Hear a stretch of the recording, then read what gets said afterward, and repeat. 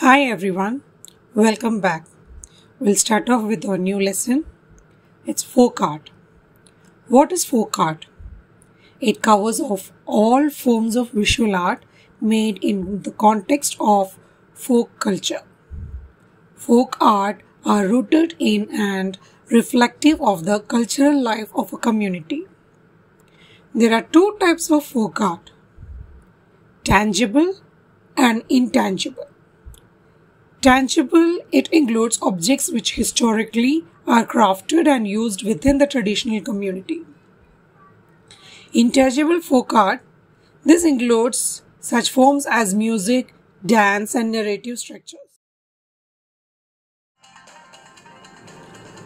Folk art is an expression of world's traditional cultures. It is rooted in traditions that come from community and cultural identity by conveying shared community values and aesthetics. Each country will be having their own traditional art form. So, today we will go through an Australian art form known as Aboriginal art. It is the traditional art of Aboriginal people in Australia. It is also known as indigenous Australian art. It includes works in a wide range of media including painting on leaves, bark painting, wood carving, rock carving, watercolor painting, sculpting, ceremonial clothing, and sand painting. Aboriginal art is regional in character and style. So different areas with different traditional language approaches art in special ways. Much of the contemporary or aboriginal art can be readily recognized from the community where it was produced. Different type of aboriginal art. Dot painting that belongs to the Central Australian painting. Then comes the X-ray art. It's called naturalistic style. Northern Australia. It belongs to Northern Australian people. It depicts local animals and stories. Cross hatching, that also belongs to North Australian, also known as Rarrk painting. These work as are believed to hold great spiritual powers.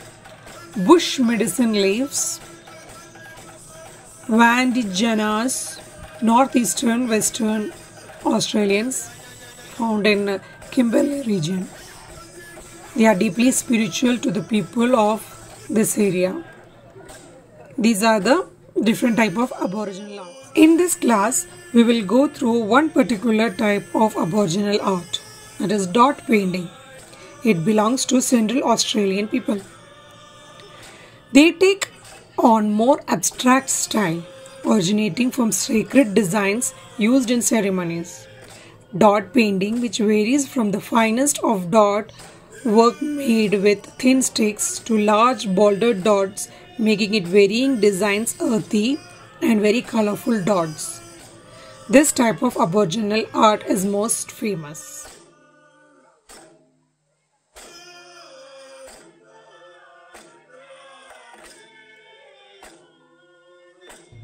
So, in this class, what you will be doing is you will have to draw an Aboriginal art. It's more of painting. So I have uh, put a few pictures in the description down below. So you can choose any one picture. You can draw the outline of that. What I did here is I cut out uh, that shape from one uh, light color paper and stuck here and around it I had gone with the paints. If you have paints you can do it with the paints. And if it is like only sketch pens no problem. Try to use a darker color because it is mainly done on a darker background. So uh, if you don't have it's okay. You can do it on a white paper but uh, it will be better if you do it on a darker paper. So this is the way you have to do it. What I did is I stuck this paper went around with dots and do some designs. I'd used the paint whatever was available with me you can use it. Whatever like what you have. It is better to use ac acrylic paints. That will be op opaque and it will give a dark tone. So watercolor will not be fine for this. Poster colors is also fine for this. Okay? Or sketch pens or markers also you can use it. That will be like you have to use a lighter background if you have to use sketch pen because that will not be this much visible. Okay? Thank you children. Have a nice day